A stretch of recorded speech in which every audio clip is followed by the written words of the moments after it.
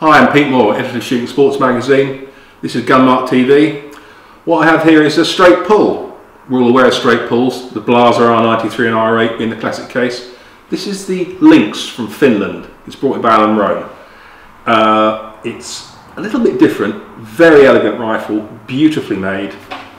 Um, it's got a T-handle, a little bit like the Browning T-Bolt, the old Schmidt-Rubin, and the action is just bang, bang, slick and smooth as that.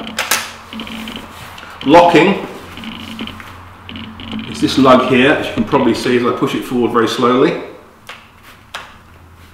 That fills that gap, and also on the other side of the gun, it fills that gap too, so the bolt is solidly locked to the rear, which is very secure. Other controls, magazine release, very standard pull down lever. Interestingly, the magazine is 11 shots, which is very attractive. Uh, the standard capacity is 5, but 11 is, is a default you can have if you wish to, and no extra cost. Trigger is adjustable for length and set at about three and a half pounds, very smooth, very easy to operate. This little catch here, you can see, is the bolt release. You pull it down, open the bolt and the bolt slides out.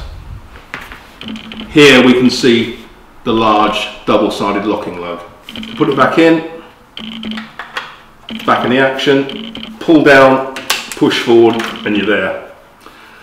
The other control we haven't looked at yet is a safety catch, always very important. You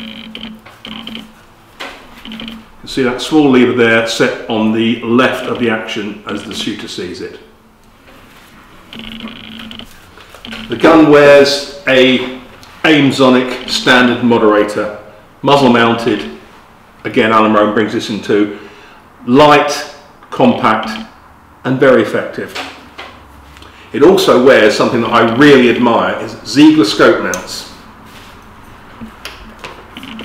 This is a QD system with hooks that engage into bases the hooks in. All you do, locate the rear into the rear, push it down, click, and it's there. I've shot this gun on numerous occasions and it's a guaranteed return to zero. I've got to say, I've shot a lot of QD systems, Blaser, Mauser, and they're very good. But this is just very, very nice indeed. Currently, the Lynx 94 is offered in long action calibers, and this is the new short action gun which is nicer. It's currently chambered in triple two Remington and 223 Remington. So very much one for your fox shooters or muntjac and Chinese water deer, unless perhaps you go to Scotland to shoot roe, where you can, you can do it with the 223 in Scotland. The build is beautiful. Nice piece of walnut in a classic English style stock. Good checkering, not too aggressive, but you can grip through it. The barrel is ever so slightly floated, but it's a slim fore end. Comes with QD studs. So, I think we should give it a shot. The magazine is a double column that feeds from a single column. So rounds go in from the front.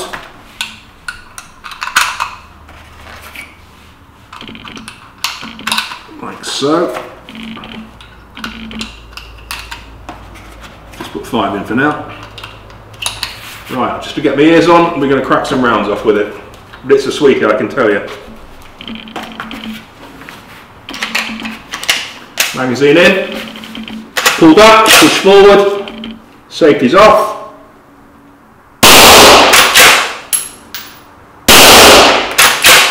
As you can see, it's a smooth action. It's almost like it's running on rails.